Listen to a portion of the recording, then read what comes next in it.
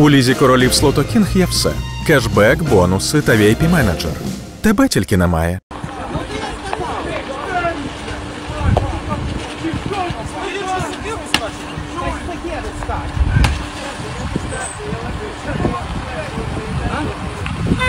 Иди на сюда, алло! Да сюда, Друзі, всім привіт! Слава Україні! Слава ЗСУ! Дякую, що підписані на канал Яніна Соколова. Якщо ще ні, будь ласка, підпишіться просто зараз. Ви мені пишете про це в телеграмі. Сьогодні розбираємо історію. В мережі поширилося відео, на якому працівника ТЦК спочатку збили машиною, а потім напали на нього із сокирою. Постраждалим виявився військовослужбовець, який воював із 2014 року на фронті. Я поспілкувалася із побратимом е, цього військовослужбовця із командиром роти. І сьогодні розкажу вам подробиці всієї цієї дуже кричущої історії. Поїхали. Отже, що сталося, друзі? В селі Плоска, це Вижницький район, Чернівецька область. Представники ТЦК зупинили чоловіка на коні, але той був озброєний сокирою. Потім між ними тривала розмова. На дорогу виїхав автомобіль жовтий ВАЗ, який наїхав на працівника ТЦК. Потім звідти вийшов водій і вдарив військового тупою частиною сокири у передпліччя.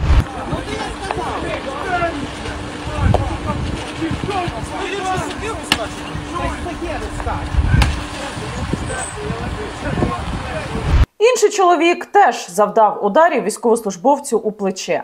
Внаслідок цього працівник ТЦК отримав травму. Далі чоловіки сокирами пошкодили лобове скло та вікна автомобіля військовослужбовців, а потім просто накивали п'ятами. Що виявилося, друзі? Виявилося, що працівником ТЦК, якого ви бачили щойно на відео, на якого власне напали, виявився військовослужбовець Микола Мусензовий. Має позивний граніт. Він пройшов бої за деокупацію Київщини, воював на Бахмутському напрямку, двічі нагороджений орденом за мужність. Після другого важкого поранення військового перевели на роботу до ТЦК.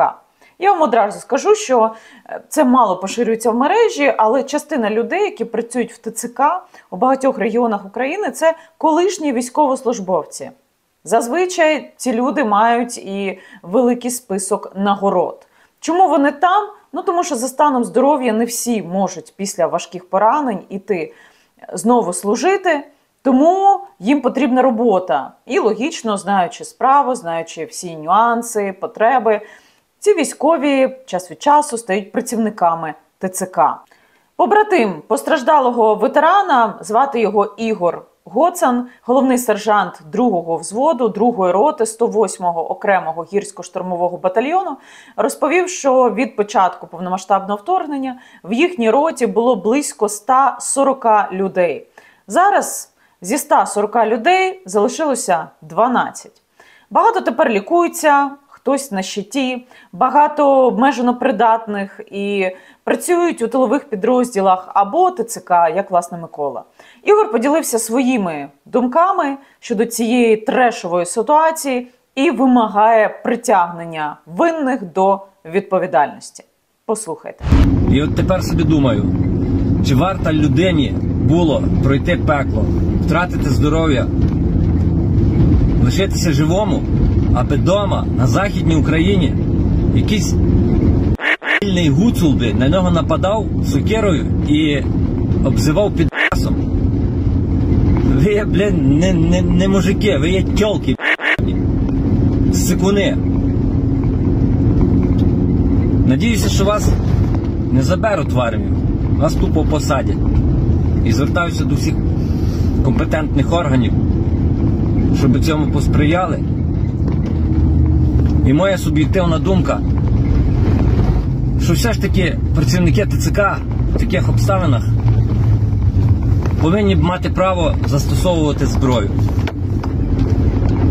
І повірте, він її застосовувати вміє і не раз це робив.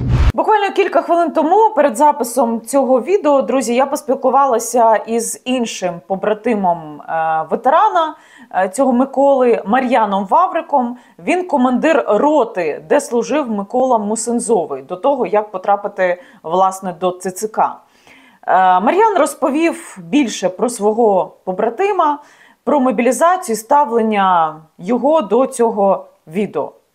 Отже, Мар'ян зараз перебуває на Куп'янському напрямку, друзі, в бліндажі людина сидить. Тому послухайте, от що думають побратими Миколи про те, що сталося, і хто власне цей Микола Мусензовий, якого побили. Е, безпосередньо за Миколу, який працює в ТЦК. Він до того я з ним познайомився в 2000, літом 2001 року, коли я був ще командиром взводу. З часом, коли я став командиром роти, так в нас почалося повномасштабне вторгнення. Микола прийшов до нас на посаду командир відділення. Зразу був молодим сержантом.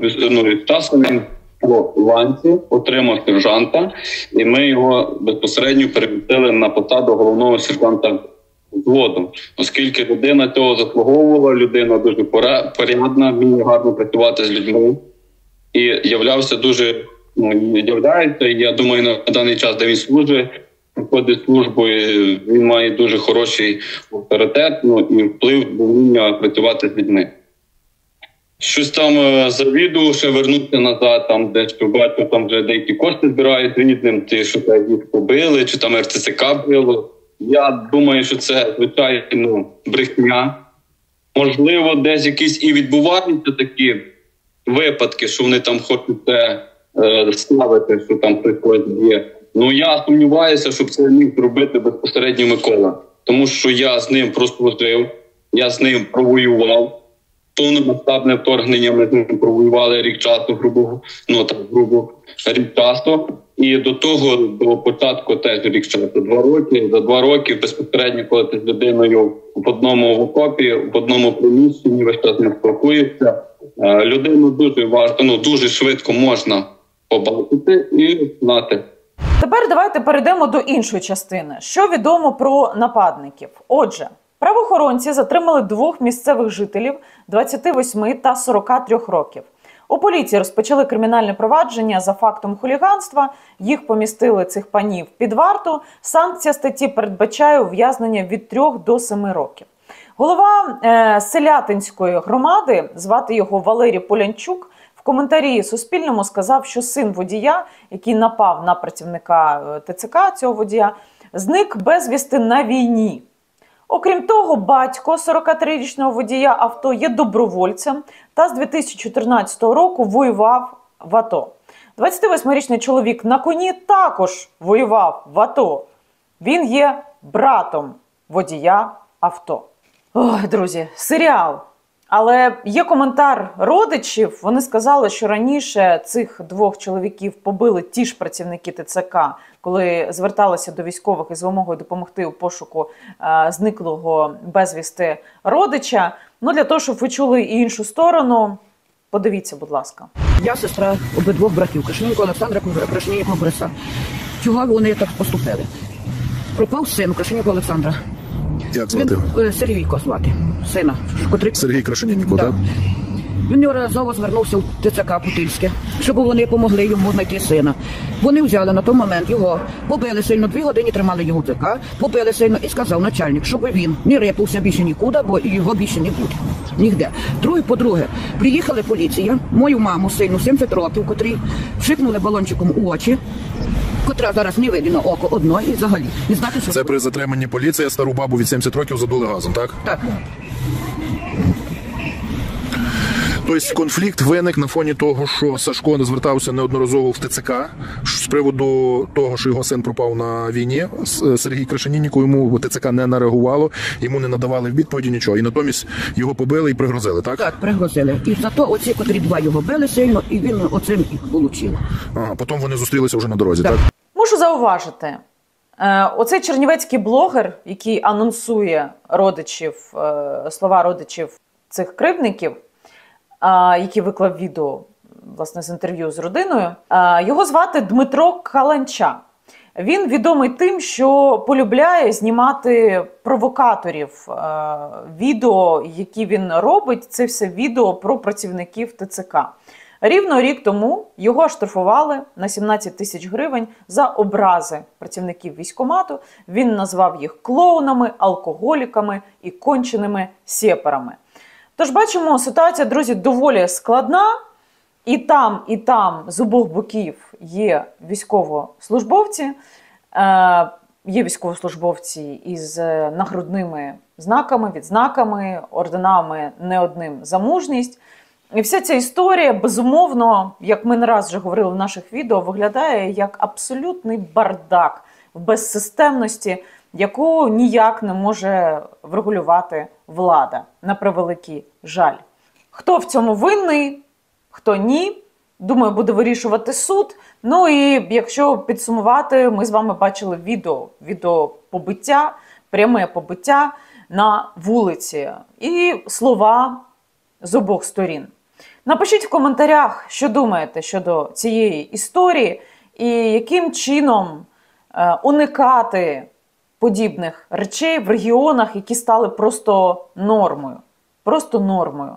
Що дуже і дуже сумно в наш тяжкий час. Дякую вам за довіру. Дякую, що допомагаєте нам створювати наші відео, стаючи інвесторами наших проєктів. В описі до цього відео ви знайдете всі способи допомогти робити це нашій команді. Ми працюємо щодня, аби ви знали правду, якою б некомфортною вона не була. І бачу, друзі, листи на пошті. Дякую, що нам пишете. Ми розбираємо кожен кейс. Багато запитів щодо свавілля, яке відбувається. Все обробляємо, і те, що має зерно, те, що має правдиву історію, і фактаж ми видаємо в ефір. Тому дякуємо за співучасть в створенні наших матеріалів. Слава Україні, друзі! Слава ЗСУ! Підпишіться на канал Яніна Соколова, якщо ще не підписані. Тут ми говоримо правду, якою б некомфортною вона не була. Залишайтеся на нашому каналі, тут ще багато відео. До зустрічі!